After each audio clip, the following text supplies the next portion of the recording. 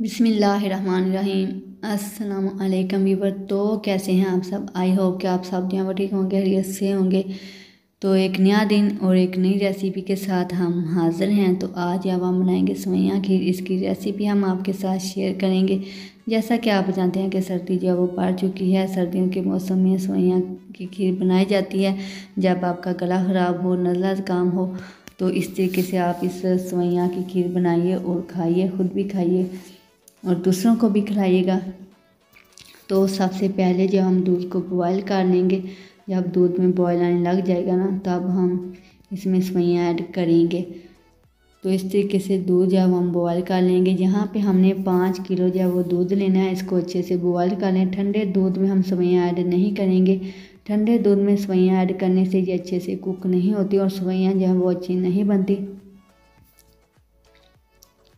बिसमीम यहाँ पे हम दो से तीन टेबल स्पून या वो घी, देसी घी ऐड करेंगे। तीन से चार चम्मच या वो खाने वाले देसी घी ऐड करेंगे। इसको अच्छे से मेल्ट कर लें। लो टू मीडियम फ्लेम पर हम सवैयाँ को जब रोस्ट कर लेंगे तकरीबन तीन से चार मिनट के लिए। ये पहले से रोस्ट सवैयाँ हमने ली हैं। तो फिर भी हम थोड़ा सा हम इनको इस तरीके से रोस्ट कर लेंगे। इससे सवैयाँ जब वो बहुत ही अच्छी बनती हैं। तीन से चार मिनट हम रोस्ट करने के बाद जब हम सवैयों को गर्म दूध में ऐड करेंगे बॉयल किए हुए दूध में ऐड करेंगे। अगर आपने, बिस्मिल्लाहिर्रहमानिर्रहीम, अगर आपने अभी तक हमारे चैनल को सब्सक्राइब नहीं किया तो नीचे दिए गए रेड बटन को क्लिक कीजिए और साथ दिए गए बेल आइकन को प्रेस कर लें।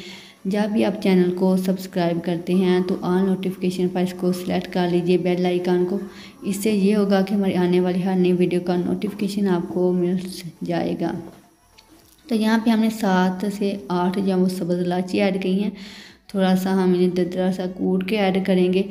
आप जब सवैयाँ रोस्ट करें, तब भी सब्ज़ इलायची ऐड कर लीजिएगा। इससे सवैयाँ की जो खीरा खीर में इसका फ्लेवर जो है वो बहुत ही अच्छा बनता है टेस्टफुल बनता है। अभी जब हम इसमें चीनी ऐड करेंगे, जब सवैयाँ थोड़ी सी टेंडर हो जाएँ आध पकी हो जाए तो तब हम इसमें चीनी ऐड करेंगे। दो कप जब हम चीनी ऐड करेंगे, आप अपने टेस्ट के मुताबिक भी ऐड कर सकते हैं। यहाँ पे आप गुड़ भी ऐड कर सकते हैं।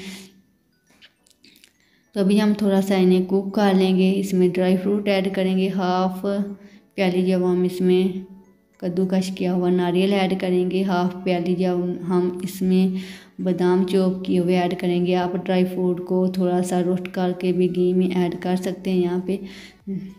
हाफ़ प्याली हम इसमें किशमिश ऐड करेंगे। ड्राई फ्रूट हमारी सेहत के लिए बहुत ज़्यादा जो है वो बेनिफिशियल है।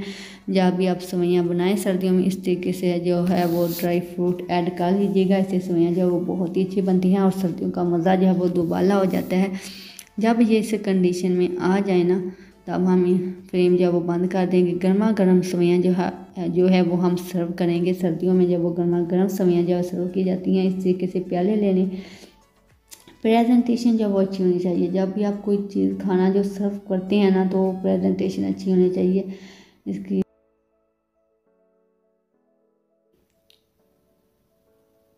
पिस्ता इसमें ऐड करेंगे, चौक किए हुए बादाम और पिस्ता ऐड करेंगे। इस तरीके से इस तरीके से अगर आप सवैयाँ सर्व करेंगे ना तो यकीन जानिए ना, अगले बंदे का भी दिल जब वो खुश हो जाता है, और हमारे खाने का भी पता चलता है कि हमने किस तरीके से जब वो कुक किया, अभी आप दे सकते हैं look so amazing and delicious तो अभी जो ये बन चुकी हैं। अभी हम इसको सर्व करेंगे। अगर आप लोगों को आज की आज की रेसिपी अच्छी लगी है तो इसे लाइक कीजिएगा शेयर कीजिएगा अपने फ्रेंड्स और फैमिली मेंबर के साथ। इंस्टाग्राम और फेसबुक पर भी शेयर कीजिएगा अपने दोस्तों के साथ। खाना खाएँ, मगर समझदारी के साथ खुद भी खुश रहें, दूसरों को भी खुश रखिए। मिलते हैं नेक्स्ट वीडियो में, तब तक के लिए अल्लाह हाफिज़।